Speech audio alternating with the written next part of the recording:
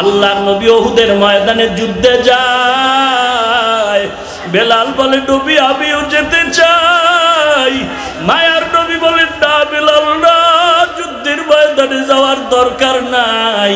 মসজিদে নবীতে আজান দিয়ে নামাজ আদায় করো। বেলাল মসজিদে আজান দেয়, হাইয়া আলা সালাহ হাইয়া আলাল ফালাহ এমন সময় কে যেন কানের গোড়া আওয়াজ দিছে, ওহুদের ময়দানে নবী নাই, ওহুদের ময়দানে নবী নাই নবী নাই। বেলাল আজান বন্ধ করে ওহুদের ময়দানে দৌড়ায়। ওহুদের ময়দানে দৌড়ায়।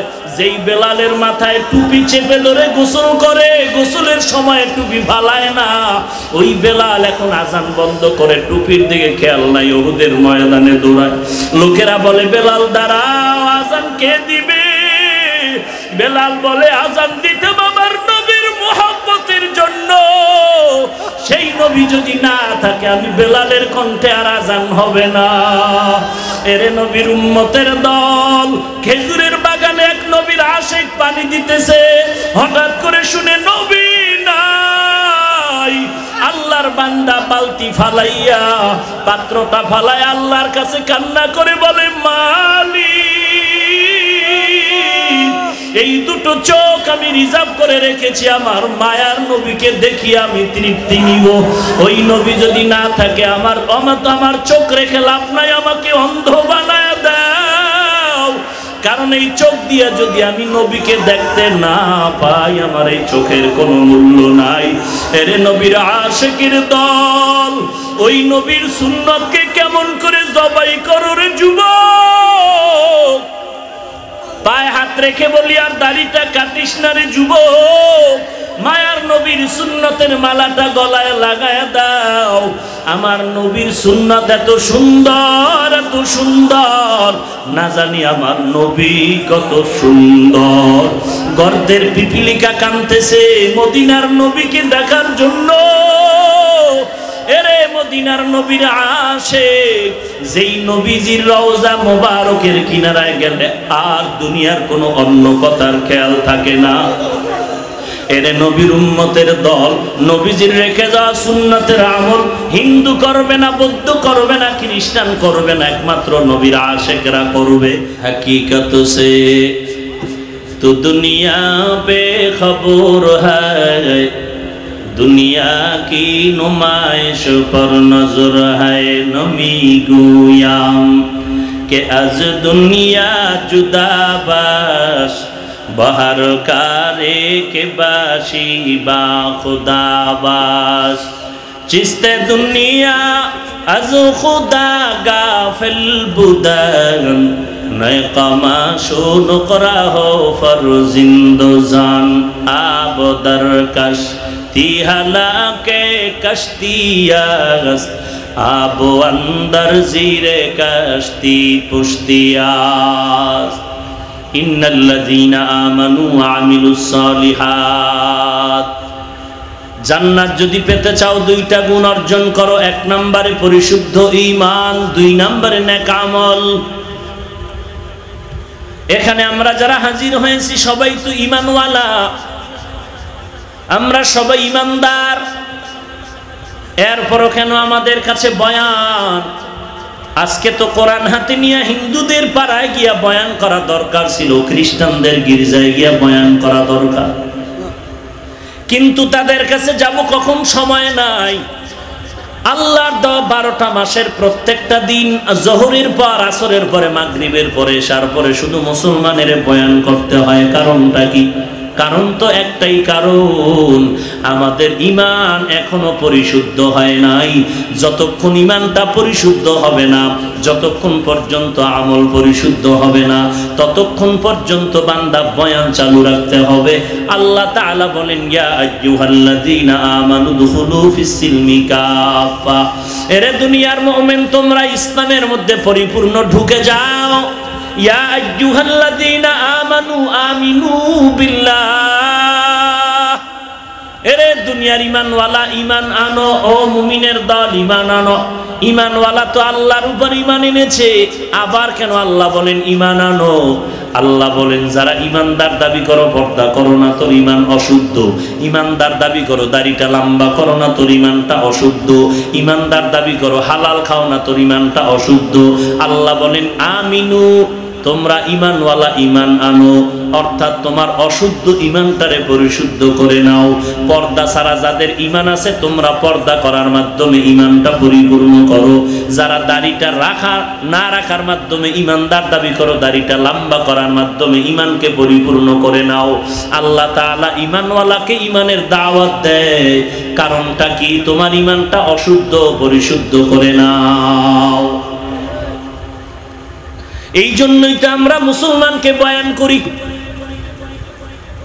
ইমানটারে অশুদ্ধ থেকে পরিশুদ্ধ বানানোর জন্য যদি পরিশুদ্ধ হয়ে যাইতো, তাহলে আমাদের মুসলমানের বয়ানের দরকার হতো না। আমাদের বয়ানের দরকার হতো হিন্দু, বৌদ্ধ, খ্রিস্টানদের কাছে গিয়ে। কিন্তু দুঃখ লাগে ভাই অনেক ইমানওয়ালা আমাদের দিকে আঙ্গুল তুলে বলে, নবীজি তাবলিক করেছেন কাফেরের কাছে, তোমরা কেন মুসলমানের কাছে তাবলিক করো? কথাটা শুনিয়া মনে বড় ভালো লাগার কথা ছিল, কিন্তু খারাপ লাগল। কারণটা কি?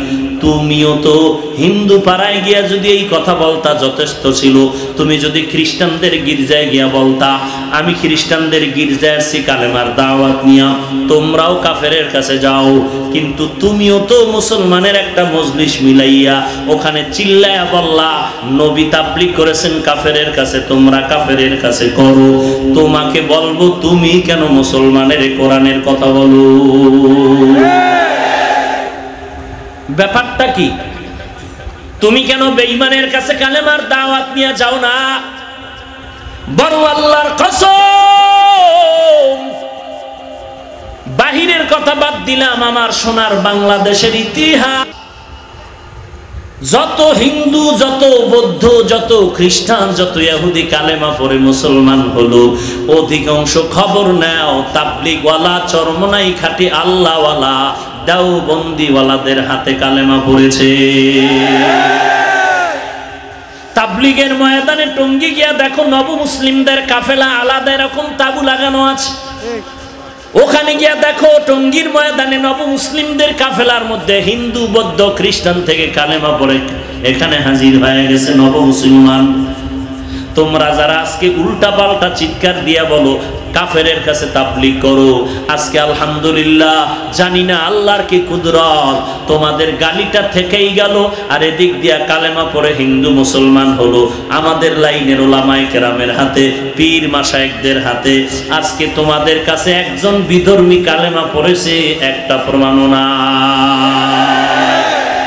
हकीकत से तू दुनिया बेखबर है दुनिया की नुमाइश पर नजर है কারণটা কি রে বাবা নবীর সুন্নতের আমল এমন একটা আদর্শ গোটা দুনিয়ার বেঈমানের সামনে চ্যালেঞ্জ করো আজকে তোমরা বয়ানের বসলেই গালাগালি ছাড়া বয়ান নাই বয়ানের পুরো বিষয়টাই গালি শুরু থেকে শেষ পর্যন্ত গালি কাফের কাফের ছাড়া গালি নাই। অথচ আমরা যদি গালি দেই, গালির কোনো অভাব নাই। অপরাধ তো কম করো না। আমরা যদি একটা একটা ধরে গালি দেই, গালির কোনো সীমানা নাই। অথচ তোমরা দাঁড়াইলেই হাঁটাজারির হজরতকে নিয়ে গালাগালি করার বলো আহমদ শফির নামটাও সুন্দর করে বলো না, উল্টা পাল্টা ব্যঙ্গ করে নাম বলো। ওই নাম বলিয়া কাফের বলে গালি দাও, মুসলমান হও নাই বলে গালি দাও। এই রকম একটা একটা করে তোমরা গালি দাও। আর আমাদের ওলামায় কানাম দাওবন্দি কৌমি বলো। আমাদের লাইনে যারা আহলে হক পীর মাসায় আমাদের পক্ষ থেকে গালি দেওয়া তো দূরের কথা। গালির জবাবটা পর্যন্ত আমরা দিতে চাই না। কারণ আমরা আল্লাহর কাছে দোয়া করি হেদায়েতের। দেখা যায় তুমি বান্দা গালি দিয়া মানুষকে তোমার লাইনে নিতে চাইলা। আল্লাহর কুদরত কি আর বুঝাইব রে বাবা? যদিও তোমার কপাল খারাপ আমরা গালি না দিয়া আল্লাহর কাছে দোয়া করার কারণে আজকে তোমাদের লাইনের বহু ভক্ত দিনের পথে আমাদের লাইনে চলতেছে। গত বছর মাহফিল করতে দিবে না, বাধা বাধা এখানে ওয়াজ হবে না। কিচ্ছু বলি না, চোখের পানি নিয়ে বিদায়। আল্লাহর দরবারে কানলাম, আল্লাহ। যেই লোকটা কোরআনের মাহফিলে বাধা দিল তুমি তাকে হেদায়াত দাও। ছয় মাস পরে ওই এলাকার থেকে মোবাইল গেল, হুজুর, যেই লোকেরা বাধা দিয়েছে তারা বলে, হাফিজুর রহমান রে আনো, চরমনের হুজুরকে আনো। তিন দিন মাহফিল করো, যত খরচ কোনো কালেকশন হবে না, আমি একা দিয়ে দিব। ইয়া এলাহি তু মেরা दोहाय या इलाही तू मेरा माशूक है या इलाही मुझसे मुझको दूर कर তাকে দেখো মুজুমে তুজুকো এক নজু মাগরিবের নামাজের পরে বয়ান করলাম শান্তির হাত। গত বছরের আগের বছর ওখানে মাহফিল করতেছিল আমাদের ভাইয়েরা। স্টেজ ভেঙ্গে চুরে উল্টা পাল্টা করে ফেলল। মিডিয়ায় খবর সারাতে ছড়ায় গেল। আলহামদুলিল্লাহ, মাগরিবের নামাজের পরে ওই চত্বরে বয়ান করে আসলাম। ময়দানে তাকায় দেখলাম আমাদের সাদা টুপির থেকে সবুজ টুপি বেশি। আল্লাহ তাআলা বলেন, মাইয়াহদিল্লাহু ফাহুয়াল মুহতাদ ওয়া ফালান তাজিদ লাহু ওয়ালিয়াম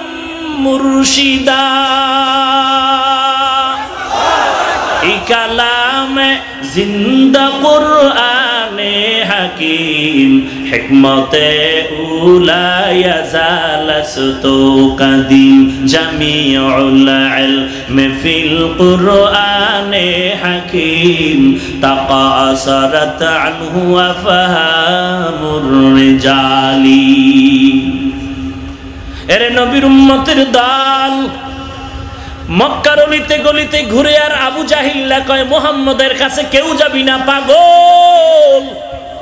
লোকেরা বলে, এতদিন যারে আল আমিন বললা, এখন তারে কেন পাগল বলো? একবার না দেখলে মন ভালো লাগবে না। যখনই রহমাতুল্লিলা আলামিনের কাছে দৌড়ায়া যায়, নবীর বয়ানের দরকার পড়ে না, নবীজির চেহারা মোবারক দেখা মাত্র কালেমাওয়ালা হয়ে যায়।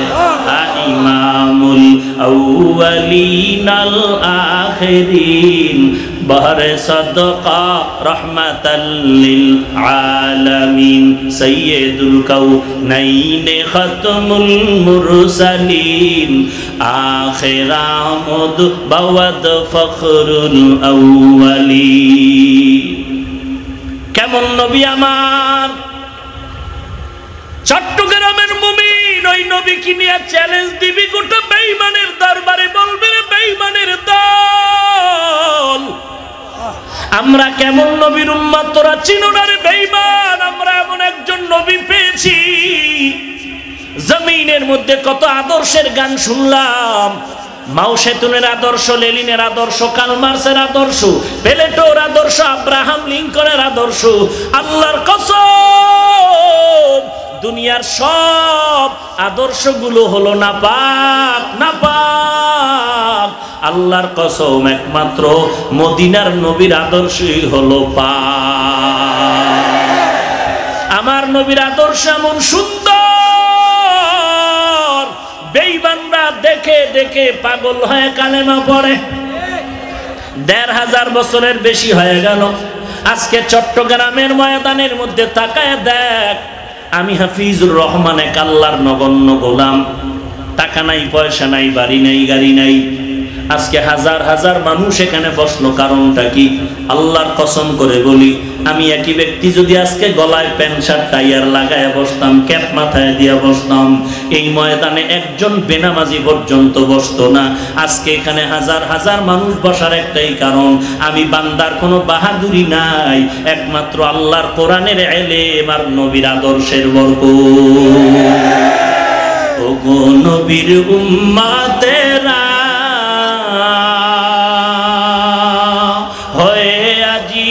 দিশাহারা কোরআন হাদিসে রে চলো যখন যাহা চায় মনে নবী বিনে কে তরবে পুলসিরাত মিজানে? নবী বিনে কে তারাবে পুলসিরাত মিজানে? চলো চলো চলো মুমিন, চলো নবীর সন্ধানে। নবী বিনে কে তারাবে পুলসিরাত মিজানে? নবী বিনে কে তারাবে পুলসিরাত মিজানে? নবী আমার জীবন ভারে দিনের লাগি কষ্ট করে। দান দান শহীদ করিলেন অহুদেরই ময়দানে। নবী বিনে কে তারাবে পুলসিরাত মিজানে। নবী বিনে কে তারাবে পুলসিরাত মিজানে। এমন এতিম নবী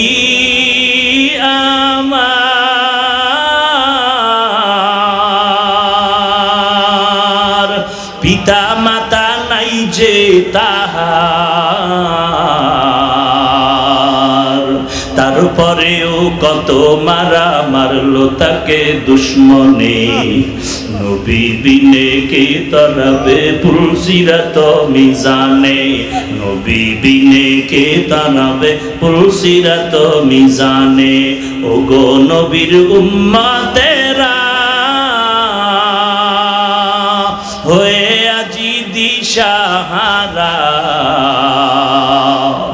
কোরআন হাদিসের চলো, যখন যাহা চায় মনে। নবী বিনে কে তারাবে পুলসিরাত মিজানে। নবী বিনে কে তারাবে পুলসিরাত মিজানে। চলো চলো চলো মুমিন, চলো নবীর সন্ধানে। নবী বিনে কে তারাবে পুলসিরাত মিজানে। নবী বিনে কে তারাবে পুলসিরাত মিজানে। এরে নবীর উম্মতের দল। আল্লাহর মোহাব্বত নিয়ে বলছি রে যুব কোন পীরের দালাল হয় বলি না রে ভাই। আমার এক নাম্বার আপন, আমার আল্লাহ দ্বিতীয়, আমার রহমাতুল্লিল আলামিন। যেই রহমাতুল্লিল আলামিন উম্মতের এত পাগল, এরে নবীর উম্মতের দল, আমার নবীর তহুদের ময়দানে দান দান শহীদ করার কোনো দরকার হতো না রে বাবা। আমার মায়ার নবী তাইফের ময়দানে পাথর বৃষ্টি নেওয়ার কোনো দরকার হতো না। কেমন মায়ার নবী আমার তাইফের ময়দানে কালেমার দাওয়াত দেয় তাইফের বেঈমান কাফেরেরা বাচ্চাগুলো লেলিয়ে দিয়ে কয়, পাগল! পাথর মেরে মেরে মেরে মেরে তারা দাও। কাফেরের বাচ্চাগুলো আমার রহমাতুল্লিল আলমিনের শরীর মুবারকের মধ্যে পাথর বৃষ্টির মতো নিক্ষেপ করতেছে। পাথরের আঘাতে রহমাতুল্লিল আলমিনের শরীর মোবারক থেকে রক্ত প্রবাহিত হয়ে গেল। নবীজির জুতা মোবারক আটকায় যায়। আল্লাহ তাআলা নিজেও সহ্য করতে পারলেন না। আল্লাহ বলেন, যাও জিব্রাইল, যাও। আমার রহমাতুল্লিল আলমিনকে কানতে নিষেধ করো। নবী যদি এখন অর্ডার করে তাইফের জমিন উল্টায় সব ধ্বংস করে দিব। কেমন মায়ার নবী আমার। জিব্রাইল আমিন এসে হাজির হয়ে গেল। ও পয়গম্বর, আপনি আর কাঁদবেন না, আল্লাহর পক্ষ থেকে অর্ডার হয়ে গেল। এখন যদি হুকুম দেন তাইফের জমিন উল্টায় সব ধ্বংস করে দে কেমন মায়ার নবী আমার। আল্লাহর নবী বলেন, ও জিব্রাইল, আমার আল্লাহকে জানায় দেন। আল্লাহ যেন রাগ না করে। এই কাফের বেঈমান আমাকে চিনে না। যদি আজ আমাকে চিনতে পারতো, আমার গায়ে পাথর মেরে তারায় দিত। আল্লাহর কাছে আমি আরজি পেশ করি, মালিক, তুমি তাদেরকে হেদায়াত দাও। ও মালিক, তুমি হেদায়েতের নূর সিনায় দান করো আল্লাহ। এরা যেন ইমানের নূর পাইয়া দিনের খাদেম হয়ে যায় রে মালিক। কেমন মায়ার নবী আমার। নবীজির ব্যবহার এত সুন্দর, যে কারণে দুশ্মন এসেও নবীর বন্ধু হতে বাধ্য হয়ে যাইত এরে নবীর উম্মতের দল, জান্নাত যদি পেতে চাও, জান্নাত বড় দামি জান্নাত, জান্নাতুল ফেরদাউস। এই জান্নাত পাওয়ার জন্য দুইটা গুণ অর্জন করো। এক নম্বরে পরিশুদ্ধ ইমান দুই নাম্বারে নেকামল ইমানটারে পরিশুদ্ধ কীভাবে করবা? আল্লাহ কোরআনের মধ্যে অন্য জায়গায় স্কেল দিয়া দিলেন। আল্লাহ বলেন, আমিনু কামা আমানান্নাস ইমান আনো সাহাবায়ে কেরামের ইমানের মতো ইমান। সাহাবায়ে কেরামদের ইমানের দিকে তাকায় দেখো। তারা ব্যবসাও করেছেন, তারা চাকরিও করেছেন, এত ব্যস্ত। এরপরও তাকায় দেখো, এশরাক বন্ধ করেন নাই, চাষদের নামাজ বন্ধ নাই তাহার যুগ বন্ধ নাই, যুদ্ধের ময়দান তাদের বন্ধ নাই। আবার তাকায় দেখো, সারা রাত কান্নার আওয়াজ রহমাতুল্লিল আলামিন একদিন মজলিসের মধ্যে বলতেছেন, আমি নবীর কাছে কেউ কি কোনো হক পাবেন কিনা তাড়াতাড়ি আদায় করে নেন? সবাই আশ্চর্য হয়ে গেল, কেমন মায়ার নবী? তিনি আমাদেরকে বলতেছেন, আমরা তার কাছে কোনো হক পাবো নাকি? কেউ যদি কিছু পেয়েও থাকে ভুলে জীবনে তো বলবেন, আমি পাবো। কিন্তু এত বড় সাহস নিয়া একজন বান্দা দাঁড়ায় গেল, নবী, আমি আপনার কাছে হক পাবো। আমার কাছে আপনি একটা কিছু দিয়েছেন, আমি ওটা ফিরায় নিতে চাই। আল্লাহর নবী বললেন, ও সাহাবাই কেরাম, তাড়াতাড়ি আসতে দাও। অন্যরা রাগান্বিত, মন নিয়ে তাকায় আছে, এত বড় সাহস! রহমাতুল্লিল আলমিনের থেকে আবার পাওনা আদায় করে নিবে। কিন্তু লোকটা নির্ভয়ে দাঁড়ায় আছে। আল্লাহর নবী বললেন সাহাবাই কেরাম আপনারা এর দিকে তাকাবেন না, খারাপ নজরে। তাকে আমার থেকে হক নেওয়ার মতো রাস্তা করে দেন। আল্লাহর বান্দা এক কদম, দু কদম সামনে আগায় বলে, আপনি আমার থেকে কি হক আছে নেওয়ার মতো? বলে, নবীজি, আপনি আমার গালের উপর একটা চর মেরেছিলেন। ওই চর, এই হক আমি আদায় করব। যখন বান্দা নবী বললেন, কাছাকাছি চলে আসেন, আপনিও আপনার সেই প্রতিশোধ নিয়ে নেন।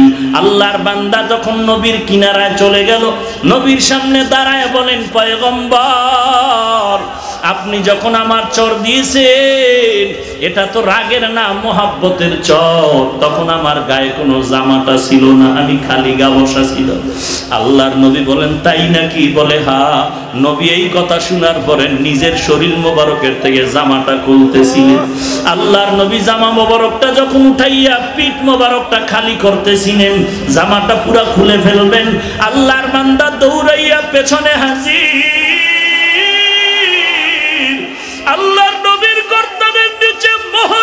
নবুয়াত। ওই মোহরে নবুয়তে চুমু খেয়ে বলে, নবী গো, আমার জিন্দগির সদ আদায় হয়েছে।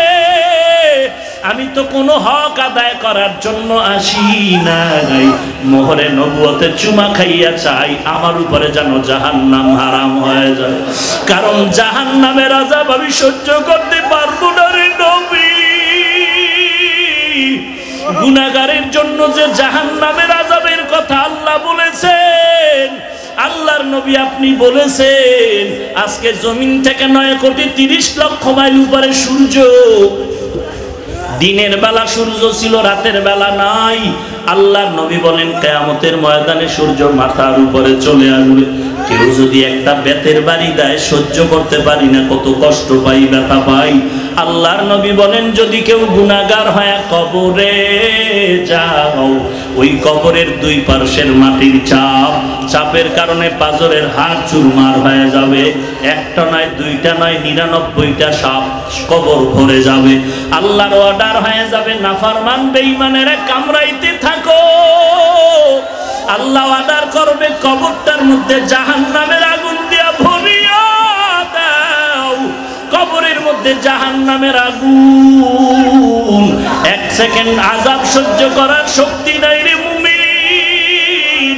ও এলাকার মা বোনেরা, ও বিদ্যু বাবাজি, ও পর্দার মা, ও কলিজার টুকরা যুবক, আল্লাহর দরবারে তওবা করো রে মুমিন। আল্লাহর কাছে বলো রে মালিক, আমার মতো গুনাগারের জমিনের মধ্যে কেউ নাই।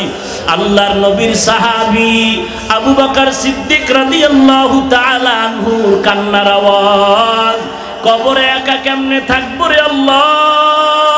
হযরত উমরের কান্নার আওয়াজ, এরে নবীর উম্মতের দল, গুনার কারণে দিলটা পাথরের মতো শক্ত হয়ে গেল, কান্নাও নাই। এরে নবীর উম্মতের দল। আল্লাহ বলেন ফালিয়াজহাকু কালিলাম ওয়ালিয়াবকু কাসীরা। কম হাসো, বেশি বেশি কান্না করো। কান্না যদি না আসে, কান্নার বাহানা করো। অথবা যদি ডানে বামে কোনো কান্নাওয়ালা পাও, কান্নাওয়ালার থেকে একটু দোয়া নাও। দুনিয়াটা কিছুই না রে ভাই। দুনিয়ার রং তামাশা কিছুই না। আমার বাড়ি, আমার গাড়ি, আমার দোকান, আমার ব্যবসা, আমার টাকা পয়সা একটাও আমার না। আমি যদি ইমানওয়ালা হয়ে কবরে যাই, আমার হবে একমাত্র ইমান আমার সম্পদ আর আমল। এরে নবীর উম্মতের দল, আল্লাহর মোহাব্বত নিয়া তৌবা করো। আল্লাহর নবী বলেন, সব বনিয়াদম অপরাধী, তবে তওবা যে করবে তার দাম আল্লাহর দরবারে বেশি। মহারমে আদম নবীর তওবা কবুল হয়েছে তুমি আল্লাহর কাছে তওবা করো। আর মুসলমান ইমানটারে মজবুত করে নাও, নবীদের সাহাবা একরামদের ইমানের সাথে তুলনা করে ইমানটারে মজবুত করে নাও। আফ্রিকার জঙ্গলের বেলাল, নবীর একজন বড় আসে গরিব মানুষ, টাকা নাই, পয়সা নাই। বেঈমান উমাইয়ার ঘরে বেলাল চাকরি করে একদিন তাকায় দেখে বেলালের ঠোঁট থেকে কেমন যেন আহাত আহাত আওয়াজ শোনা যায়। উমাইয়া ডাক দিয়া কয়, বেলাল, তুমি কি করো? বলে, আল্লাহর নামের জিকির করি। বলে, আল্লাহকে? বলে, তোমাকে যিনি বানাইছেন তিনি হলেন আমার আল্লাহ।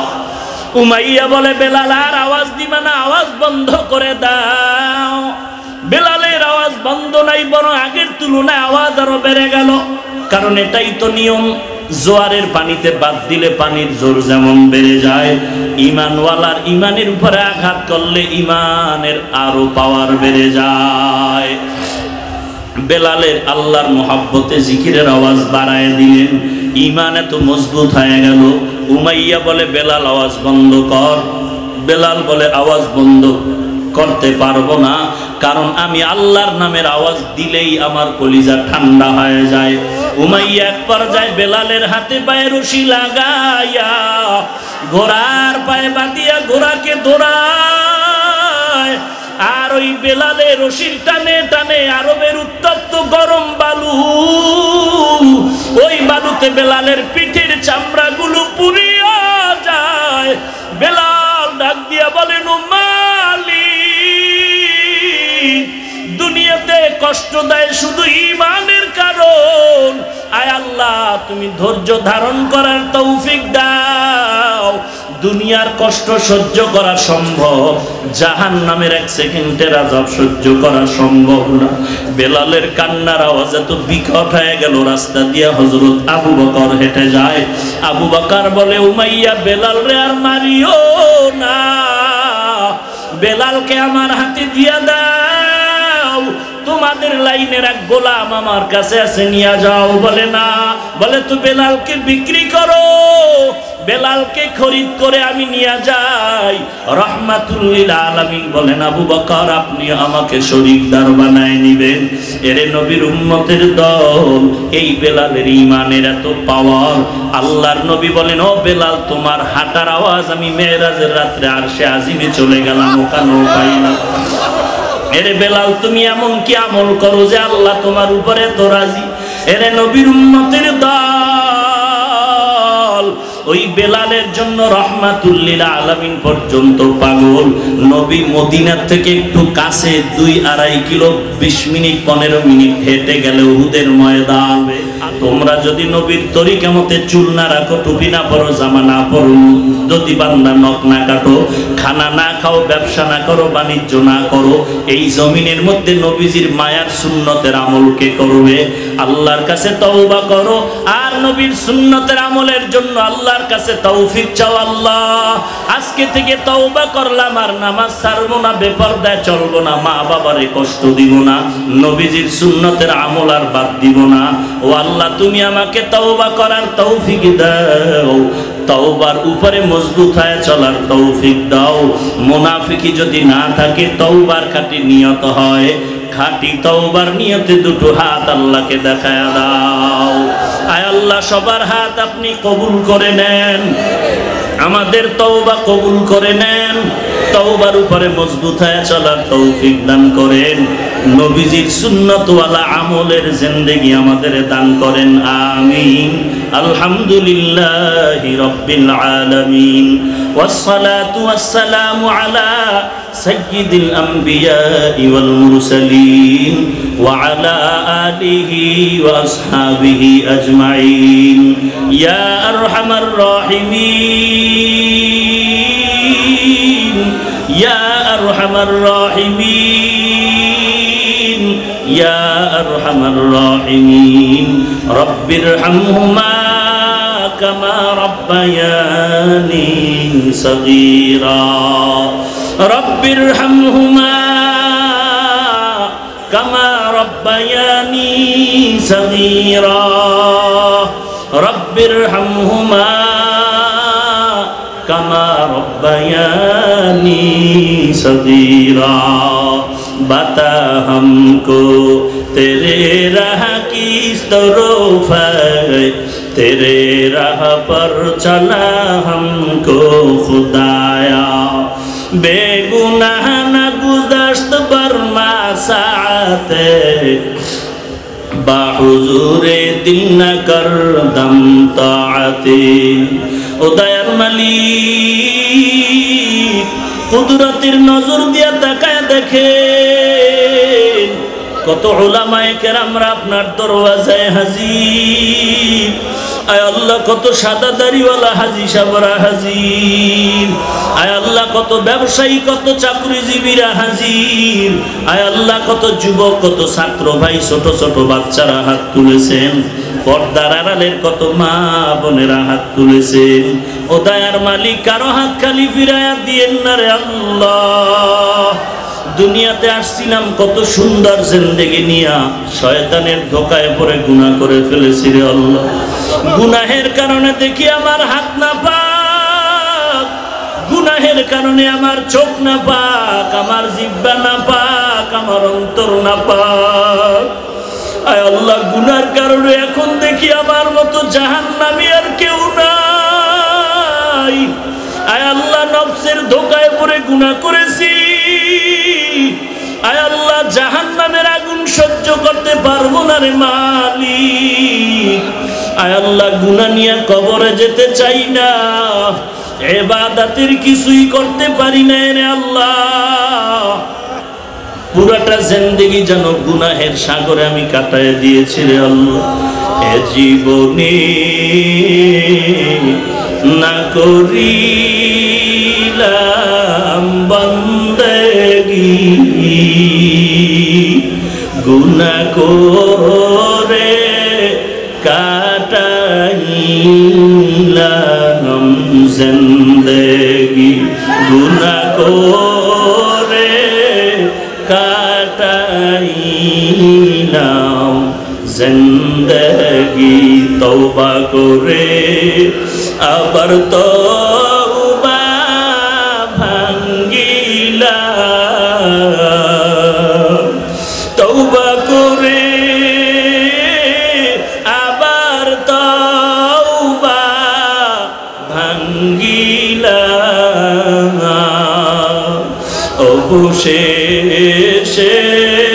খাটি তওবা দিলাম অবশেষে খাটি তওবা করিলা সকলেরই।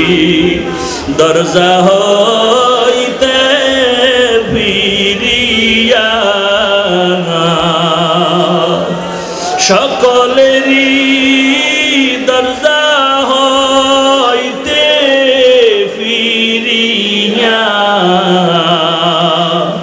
আপনার দরজায় রইলাম তাকাইয়া। আয় আল্লাহ, আপনি যদি আমাদের গুনার কারণে ফিরাইয়া দেন, আমাদের যাওয়ার আর কোনো দরওয়াজা নাই রে আল্লাহ। আপনি আমাদেরকে গুনাগার বলে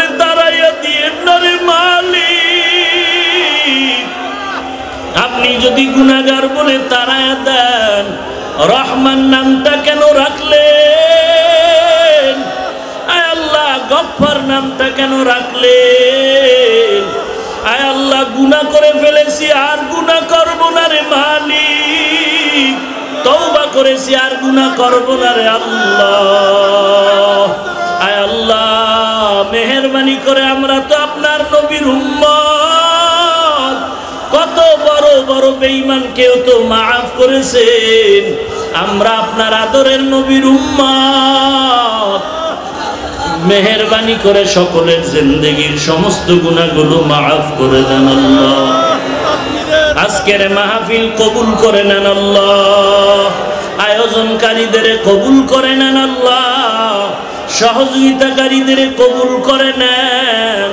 সারা দুনিয়ায় শান্তি দান করেন আল্লাহ। কাফের বেঈমানের হাত থেকে মুসলমানের হেফাজত করেন আজকে সারা দুনিয়ার মুসলমানের শুধু কান্নার আওয়াজ। বেঈমানেরা মায়ের সামনে সন্তানের জবাই করতেছে রে মালি সহ্য করতে পারি না রে আল্লাহ।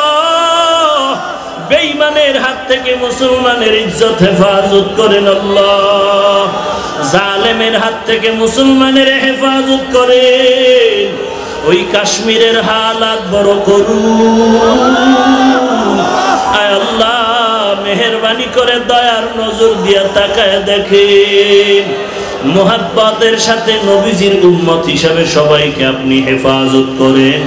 আয় আল্লাহ, আপনার রাজি ও খুশি অনুযায়ী নবীজির তরিকায় চলার তৌফিক দান করেন। বাংলাদেশ শান্তির দেশ বানায় দেন ইসলাম ও দেশ রক্ষায় যারা জীবন দিয়েছে তাদের মাফ করে দেন এখনও যারা চেষ্টা করে